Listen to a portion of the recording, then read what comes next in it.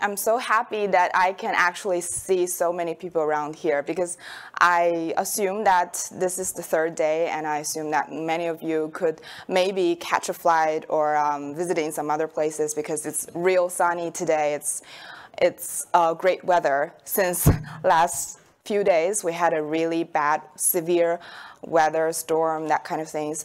Um, but um, okay, let's start. Um, today, I, would like to talk to you something um, very uh, you might nor not normally see uh, because that's the project in China, and I'm going to talk about it in uh, the, the China China-based project. And um, first of all, let us uh, let me introduce me just a little bit because um, I think none of you know me or none of you know Open Euler. Maybe some of you had visited the Open Euler booth uh, a few days ago and um, had a little talk about our staffs at, around the booth. But um, exactly about the globalization part, I think uh, most of you don't know much about it. So um, my name is Helen, and um, I'm currently at the G11N SIG as a maintainer of the Open Euler community, and I have five years or more experience in technical translation and localization. So um, basically, I majored in translation, so I'm uh, pretty new to tech stuffs, but I uh, did have a few years experience on techni technical translation. And I came to uh, know Open Euler about two to three years ago. And now I did uh, community operations part of Open Euler and I do social media stuff, social media promotion. Maybe some of you might see me at uh, LinkedIn. And um, I had a great passion. I have a great passion on social media operations and open source and um, some fun tech stuffs. So this is my LinkedIn profile. Maybe if you're interested, let's connect. And let's begin the story. Um, I used a AI generated picture. It's about um, a Bible story. It's the power of Babel. I think most of the Western world knows that because that's um, a very famous story. And it says that um, once there was a Tower of Babel and people uh, wanted to build that, but due to the confused language made by God, uh, so the tower cannot be actually built. Um, that I think it's the same situation as we are facing today because um, in this open source world, uh, a lot of people come from many different places and um, lots of you might speak English, but in Asia countries, uh, in uh, some other countries and other regions, a lot of people might not speak English as their native language, especially in China. Uh, people are, are especially tech uh, engineers and uh, for people who do open source and who are currently uh, sur uh, surfing on internet and doing GitHub uh, projects, they are not familiar with English. So um, let's see this chart. Um, developers year-on-year -year growth in, in Asia really surges. You can see this is a, a statistics by uh, GitHub report, annual report, and uh, there are many uh, developers from Asian countries in Singapore, in India, in Hong Kong, uh, China, Vietnam, um, Indonesia, that kind of countries who don't speak English as their mother tongue as their native language, but uh, we all know that uh, the fact is that uh, documentation is, docu is dominated by English. So um, that's the real problem. Uh, people really, mm, they are speaking their own mother tongues and they are writing uh, stuffs using their mother language. But um, they have to read uh, English files, English documentations in most of the situation. Um, so that's where um, also you can check this. This is a geographic heat map of developer populations around the world.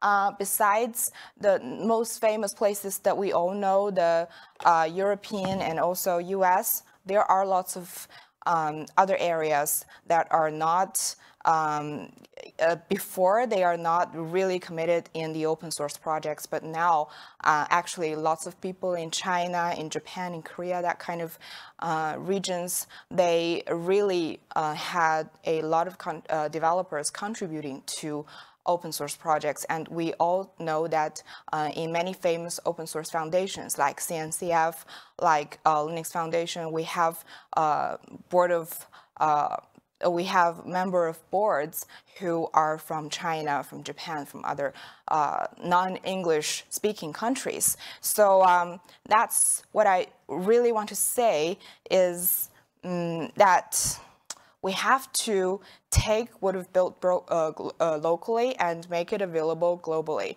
Because uh, now in China, people, uh, developers especially, they write documentation in Chinese. And we had that, we had this pipeline to, uh, be, the, uh, at, from the beginning, it is Chinese documentation, and then we translate that into English and spread that to the global audience. So um, this is basically the pipeline. But um, there is uh, many challenges in that. And in my later presentation, I will uh, really uh, dive deep into that challenges. And I really look forward to uh, the answers from all of you because that's uh, a uh, public concern. And I think I don't really have the answers. So today it's uh, just a practice of this special interest group of us. And um, for Open Euler. I think um, these few days uh, you have all know about this name, but this is actually a China-based program. It's an open source Linux-based operating system, and it starts in China about uh, four years ago.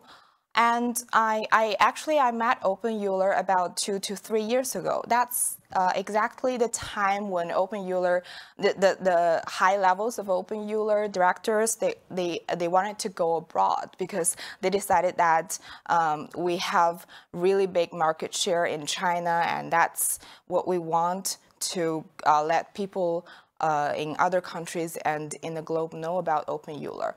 And that's uh, when, we, when I know Open Euler. Mm, and it's the exact perfect timing because uh, me and my colleague started a special interest group in the Open Euler community, which is called uh, G11N. Uh, that is the short version for globalization. And um, our uh, SIG group, um, we have the mission to uh, let uh, the staffs let the information from China to go out to the globe and bring um, as many as the um, information and uh, tech stuffs and developer contributions um, in Chi into China. So that is basically our mission. And we have these fantastic uh, maintainers and also many uh, committers in, in our uh, G11N group now. So um, we basically we have over uh, 30 uh, contributors, uh, active contributors in this group. And what we did in these two years, um, the first step is starting with documentation because documentation is really the foundation of everything. And today I know it's the um, uh, doc tech uh, conference, and we have to uh, narrow it into documentation. And this is the first step we do because um, in China, we have this kind of a host platform like GitHub. In China, we call it Gitee. And most developers would contribute things on Gitee instead of GitHub.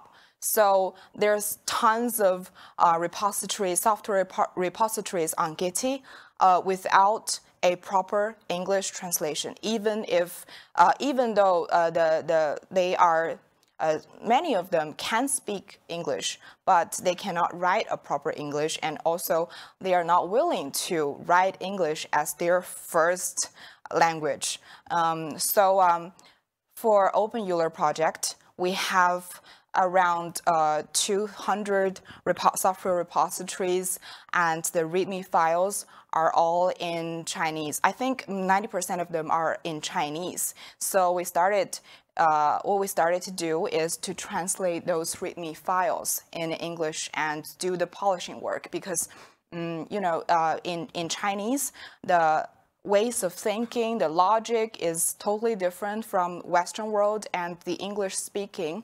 So um, the writing logic is also different. So what we have to do is, uh, besides translation from the original Chinese version, we have also to edit those translations and reformat it and um, polishing the, the, the, um, the structure to make it sounds natural in an English-speaking world. And this is the first thing we do. After we're finishing uh, those uh, README file translation and also the uh, documentation, some of the documentation translation, uh, it's around half a year to one year.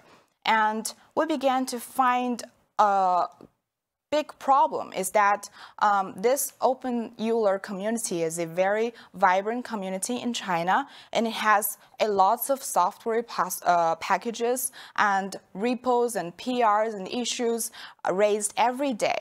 And uh, our team is around, um, the active contributors are around uh, 9 to 10 people.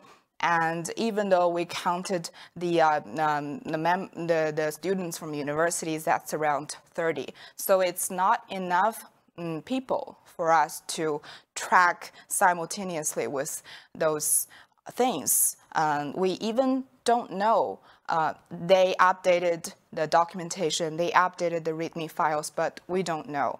Um, we have to check maybe one week, we have to check it and find that there's um, dozens of documentation that we need to translate. So it's, um, it's a hard problem. And we have to think of smarter ways to um, solve that problem. That's when we think about the CI. Um, so um, after negotiating and discussing, uh, lots of discussions with the doc team and uh, the infrastructure team, uh, we started to add this, this process uh, into the CI system. Um, so actually, when the translation source is updated, the Chinese source is updated, there is a CI bot who would generate the uh, translation issues to the, to the team. And the maintainers would receive that issue and uh, we would translate these things uh, whenever we would use AI-based translation and polish that, or we can directly trans that, translate that from manual work. And then we would submit a PR, and um, uh, there were tech people who are actually writing those stuffs. They would review the PR, and they decided can it actually be merged because the translation might be um, uh, we, we, might make mistakes in the translation. So if they decided that it's okay, it's cool, it can be merged. So yes, the translation process is done and it can be merged to the um, um, official repo. And so um, that process, it's enough for us at that time. But uh, when the translation task gets bigger and bigger, and we have a website also we have an open Euler official website, and all of the documentations are on the on the official website.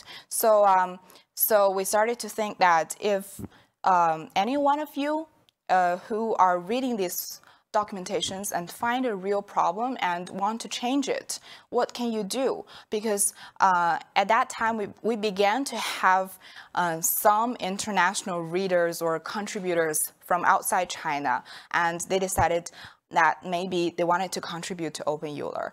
And the first step, maybe they wanted to contribute to the documentation. And it's hard for them to use Gitee from um, outside China because we have um, that uh, internet problems. And um, at that time, we think it's time to release a light PR and people can really, um, you know, they, they don't need to submit a PR on Gitee or GitHub or or whatever the host platform is, they can just directly um, use Light PR to adjust the, the original documentation on the website. And um, when the, the adjustment is done, it uh, directly also sends us uh, sends to the reviewer, and they decide whether the review can be done, and they decide whether the the the the, the adjustment, the optimization of the documentation is great for them to merge into the uh, the, the, current system. So um, these are the two methods that we uh, used to tackle documentation uh, uh, synchro, yeah, synchronize that with CI.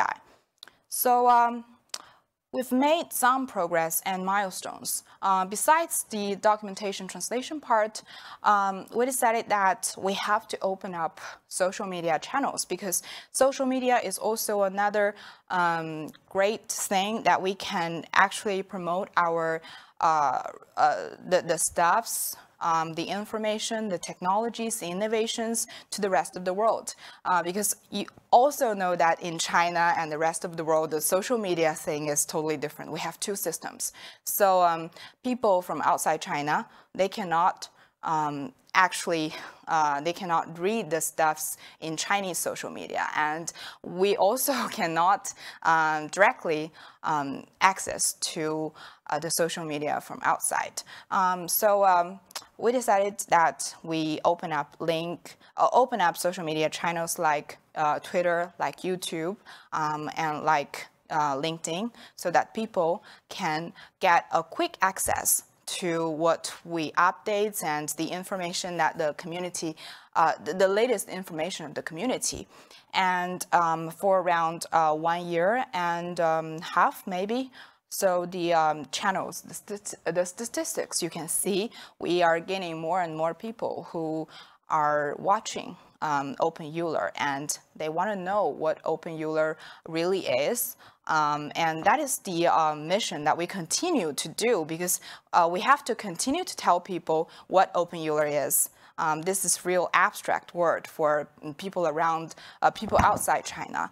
Um, so uh, now we have uh, like this, you can see the, those contributors who contributed to Open Euler and the social media uh, channels that we opened. These are all the process, progress and milestones. But um, actually, when we are doing these kind of things, we realize that just having documentation in English isn't good enough because um, most of my team members they are actually majoring in um, translation, they are actually majoring in literature, and they come to contribute to the translation project out of curiosity and out of passion, but they really don't know nothing um, or don't know much about uh, the, the, the, what Linux operating system is, and they have to learn through the translation project. So that's where we make mistakes. Um, so uh, based on the translation things we uh, delivered, that's only available documentations. That's not useful documentations. So I think especially for um, uh, from Chinese version to English version, version, the English version might actually get to um, available version for technically available for people outside China to use. Maybe if you want to find an API, you can uh, browse from our documentation and find that, and you can find the code, uh, but you didn't really understand what the project is, and you didn't really understand what innovation, what's the difference between Open Euler and the other projects in uh, other Linux distros. That's also a common question that people come to the booth to ask, what's the difference between Open Euler and other uh, Linux distros. There are tons of Linux distros, right? So um, um, we have to think about uh, put the documentation uh, to English and um, go further to make the translation useful. So um, I remembered once I read, um, I just Googling, randomly Googling, and I uh, came across this sentence. Um, what is uh, developer experience. It's all about how easily and effectively developers can get things done. So that's what our new mission is. We began to think about doc, uh, developer experience. And when we focus on developer journey, our first mission is to improve developer experience. Now we have the first step down. We have made all the documentation in English. And uh, next step, we have to focus on developer experience to make more developers uh, actually find our documentation useful and um, they gained information, they gained knowledge uh, through our documentation. So um, based on this chart, you can see uh, we've classified the stages into discover, evaluate, learn, build, and scale. And these are the five stages of developer experience, um, uh, of developer journey. And from the internal touchpoints and external touchpoints, um, I think what we can do, what our SIG can actually do is very limited because as I said before, we are not real tech person. We know very little about tech, but uh, we still have our strengths to do that. Um, that's where we focus on the um, documentation, uh, the product, and social media. So um, you can see here, I have marked two stars on this chart. One is product and docs, and the other is social media um, we did a lot of things around that. And let me show you. We have two new approaches this year. Um, the first one is to make content uh, visual more visual because at that time, uh, uh, during the first stage, we had all the information, maybe um, 2 million words in Chinese and all translated that into English. And it's a tons of um, words of documentation. It's so long and so hard to read. So we have to abstract those things into easy, clear, and concise English so that people can get to understand what you are talking about, what you want to do, what you want to achieve. So um, we made those uh, brochures. I think some of you might have already seen it because it's uh, already at our booth. And we uh, these uh, A4 pages to make people to understand what is Open Euler. And we did a lot of tutorials, video tutorials from um, our tech experts and also um, uh, the, the special interest group members. Uh, we did a lot of tutorials about the uh, what is Open Euler and how do you set up the environment and how do you use it on cloud, where you can find it besides the cloud. Maybe you can find it at other places. You know, we have a slogan, is Open Euler is everywhere, but um, I think um, it's right now it's just a slogan and it's not accessible, uh, very, very accessible. So we have to tell people how to um, really use and really experience Open Euler at different places. So we made all those tutorials. And also, uh, during the two-year experience, I came across so many people who really asked, asked me about basic questions about Open Euler. So I think FAQ is is a pretty good, cool idea because I've seen so many famous and mature uh, projects in open source world like CNCF and like that stuff. They have those FAQs very clear and concise and for people to understand the basic informations about that. That's very important to a project like us to start the first step from China to abroad. So um, we made FAQs and it's, a re it's released at our official website just uh, maybe uh, two months ago. Um, also, what we did um, is make uh, SEOs uh, because SEO is very important for Google um, optimization, for Google search.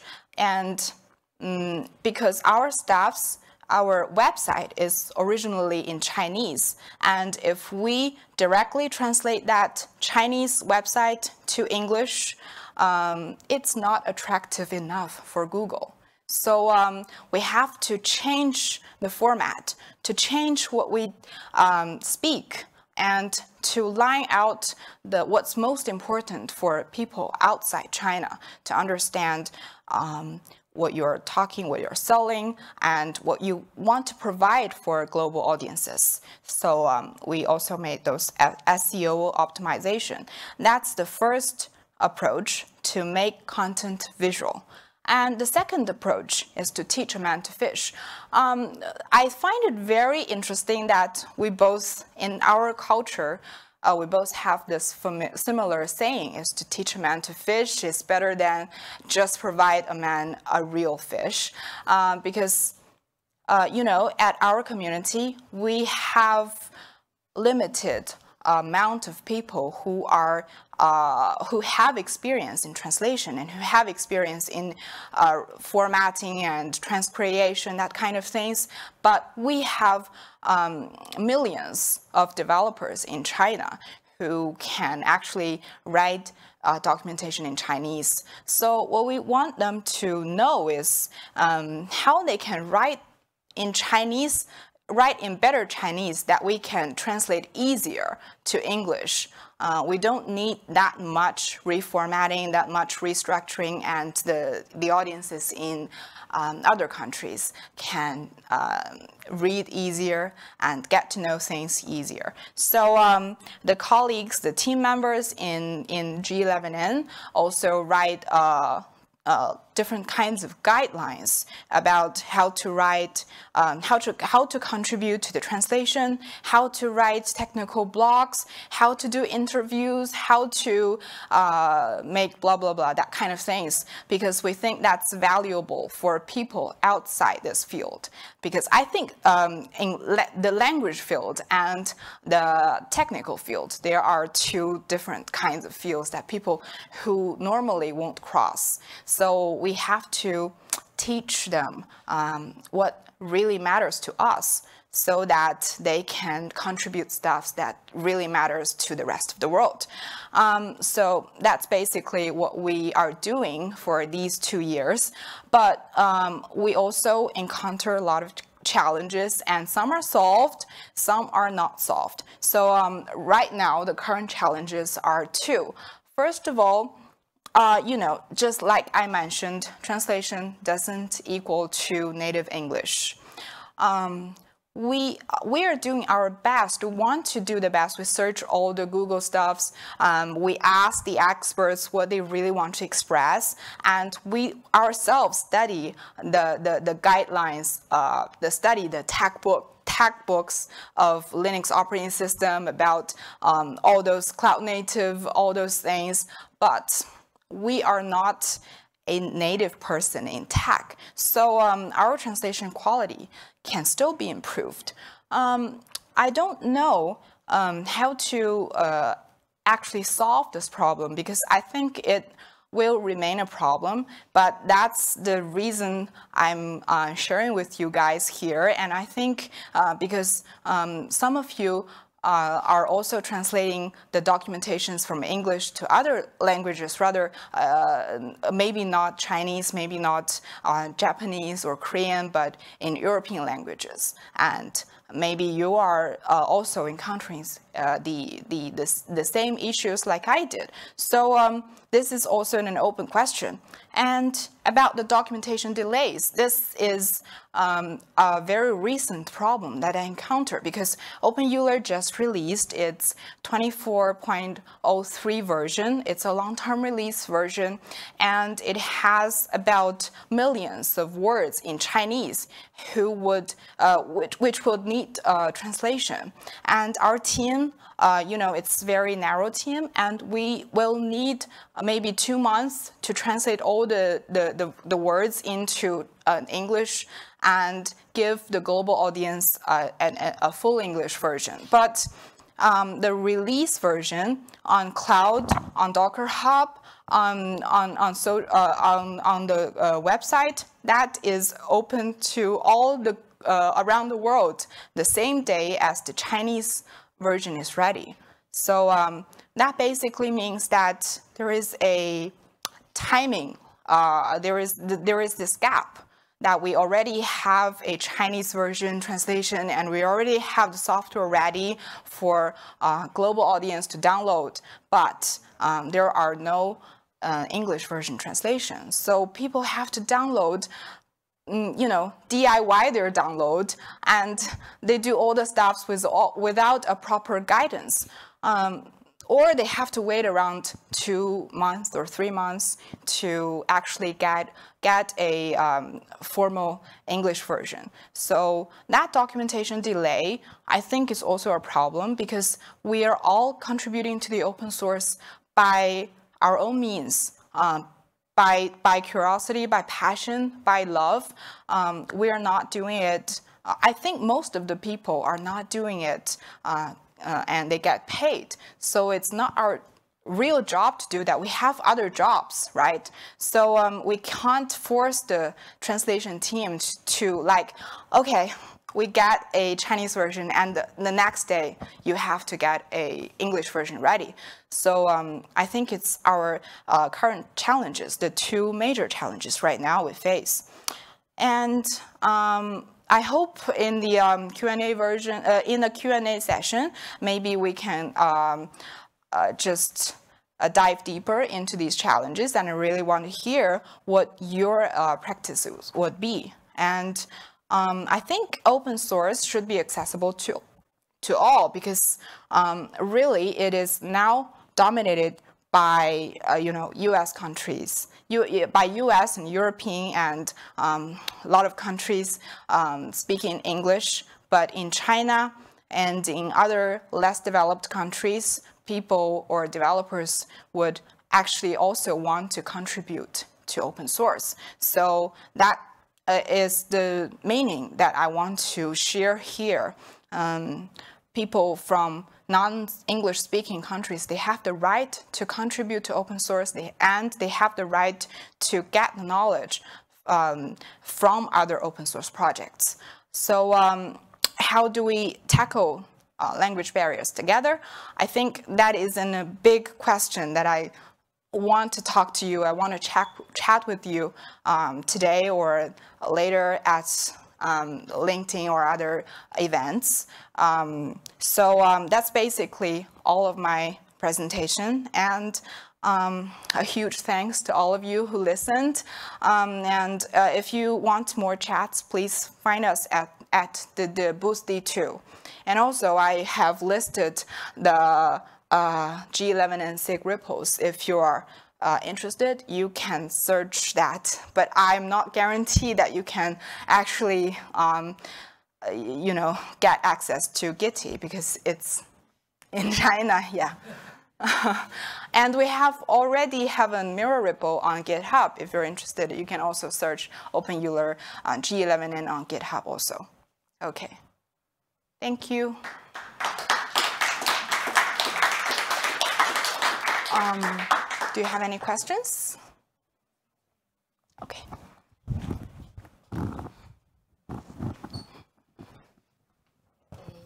Thank you, Helen. Thank you for a um, really good presentation.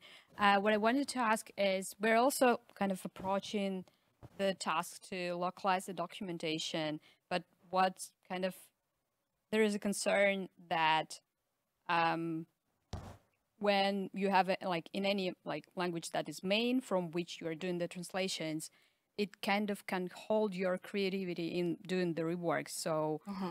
like each time when you will be like okay i need to rewrite this section or i want to add some specific context or i want to change the information architecture you're like but it, it will be translated to like one language or a few languages and it may like cost company yeah. some additional money. So when you're having only one main language, you're more free to make any reworks mm-hmm. like making documentation better.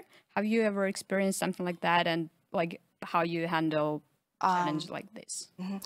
Uh, I think what you mentioned, right, just now, I, I, I, came across a similar issue in China because our team um, in, in China, when the source language is Chinese and we translated that into English, and if we want further translation versions like um, German, like Japanese, like other languages, uh, the, the, the, the translator have to translate from the English version to another version.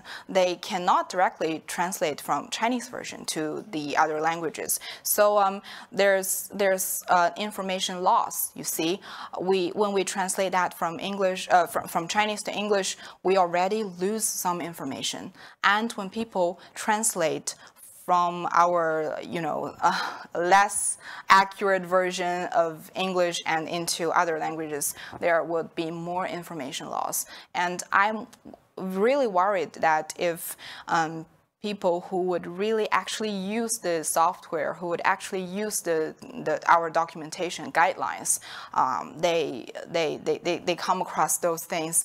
And what if the information loss is too much? And the, the meaning is different. And they cannot actually handle things correct. They cannot actually deploy correctly.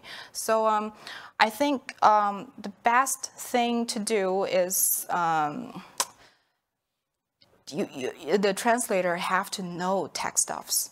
Yeah.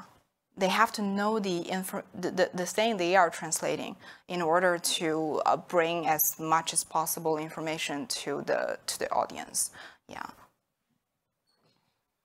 I'm the co-speaker of Helen. Maybe I can answer these questions furthermore. And first, uh, actually for our translators, and uh, we have uh, already customers customized a specific some roles, translation roles. For example, translators can do what word word and cannot do what word word.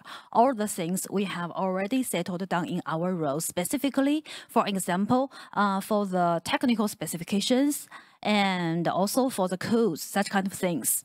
Uh, uh, they already uh, existed in English, so we cannot to translate those things. Uh huh. And also, uh, for uh, uh for um, for uh, for the English to another language, uh, Chinese to English, and English to other language, and we need to keep all the important things. Uh, should be um, exactly correct. Yeah, that's the basic roles for our translators and also the basic requirements for us. And then besides the, the uh, besides the technical things and for the language part, we try our best to optimize it from in from Chinese to English and also from English to other native languages. And we try to keep the uh, original meaning as it is. But actually, when we made culture problems, for example, um, how to say, uh, for example, uh, in China, in China, the red, the color red in, in indicates increase. It's a good thing. Uh -huh. But for other, yeah, the red is decrease. So when we made such kind of problems, we need to exchange the cultures and into correct ways. Yeah.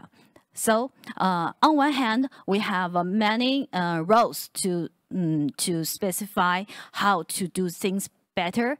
And also we have our style guide for developers and also for translators. And including, for example, uh, for some uh, for some um, punctuations. We even we even um, we even uh, uh, specify how to use punctuations in our in our translation and include periods, comma, that kind of things. Yeah, strictly follow those things. Yeah. Thank you.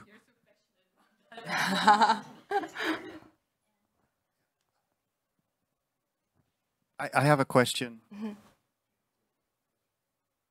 I have a question around um, your processes. Um, so you mentioned that you uh, have like a, a CI/CD bot yeah, yeah. that effectively detects changes in the source language, mm -hmm. which mm-hmm. is Chinese in this case, um, and and then would create an issue, um, and from there, I what what happens at that point? Is there some kind of, uh, apart from of course the issue, some kind of notification to translators? Um, how how are you kind of managing the the translating? Do you have some kind of tool in between? Um, yeah. Uh, a tooling for uh, to to to dispatch this translation to who? You you you mean that? Yeah. So so I guess my question is: Are you just are, are translators then just directly kind of using, well, Gitee or GitHub to, to translate effectively? Um, for right now, our translators, they have to use Gitee because uh, all the software repos are on Gitee. So it's the source software repo for people in China. So um, we don't uh, encounter such problems. But I think if uh, some some contributors are directly contributed from GitHub or that kind of things, we have to use the mirror. Um, that's not real time, but it's still effective, I think. Okay. Oh, thank you. Uh, one thing you mentioned that was uh, to have a documentation um, useful, so that's uh, why the technical things also have to be um, understandable and correct. Mm -hmm. um, and you mentioned that the technical knowledge in your team is not as good. Um, how did you tackle that? Did you like um, have developers at your team for a couple weeks to learn something, or how did you challenge that?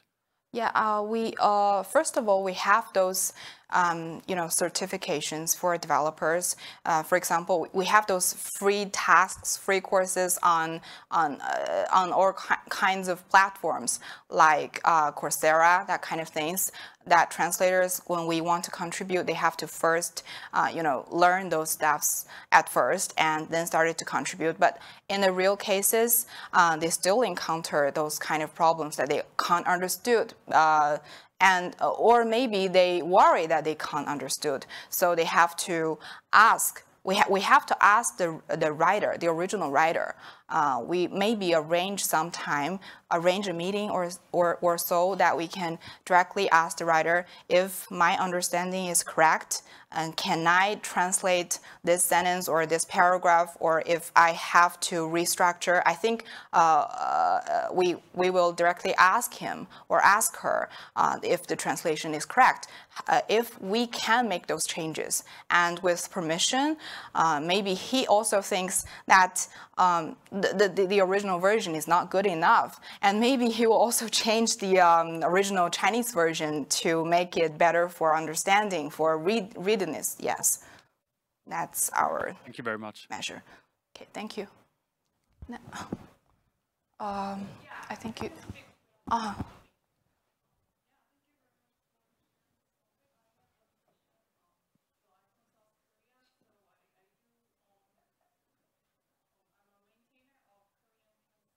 Mm-hmm.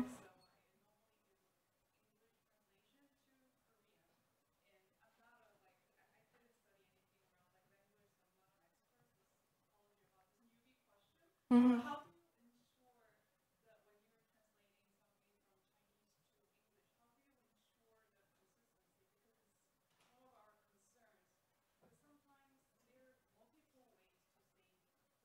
Ah, yeah.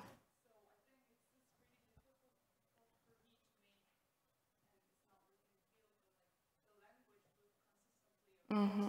Mm-hmm.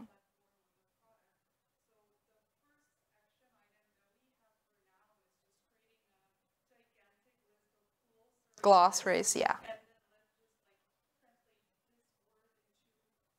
Mm-hmm, mm-hmm. Um, I think the traditional way is also uh, listing those kind of glossaries and terminologies and put them in a for, form and upload this form in our current translation systems. I don't know if you use SDL, Trados, or other kind of uh, systems, we have those translation software that people can actually update those uh, terminologies or glossaries that uh, to to make sure the consistency of the whole uh, documentation. And uh, also for uh, these two years, I think AI also can do a lot when maintaining the consistency because you, you, you can ask AI to check when you finish all those translation, you can ask AI to check if the uh, words are consistent and if any of uh, you know confusion is made. That I think that's also very effective. Thank you. Oh, oh.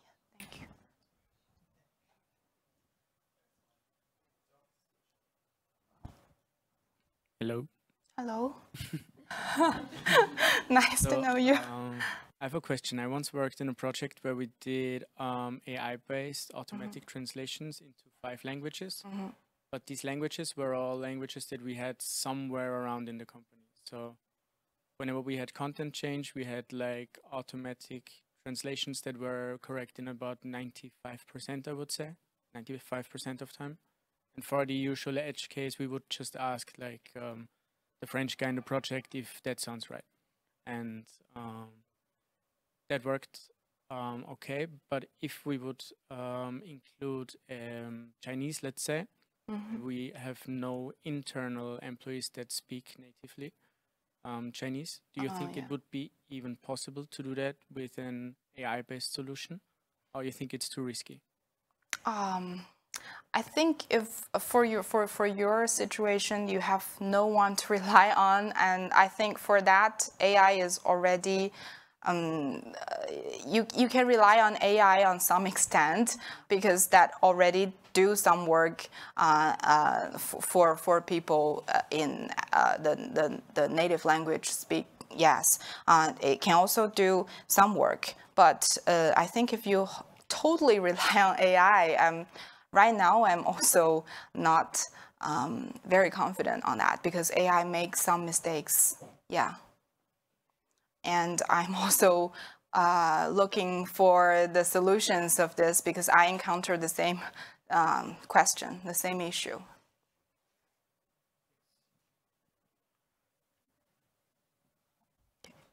Um, so um, I think that's the that's the end of my um, presentation. And if you want to talk to me, just find me on LinkedIn.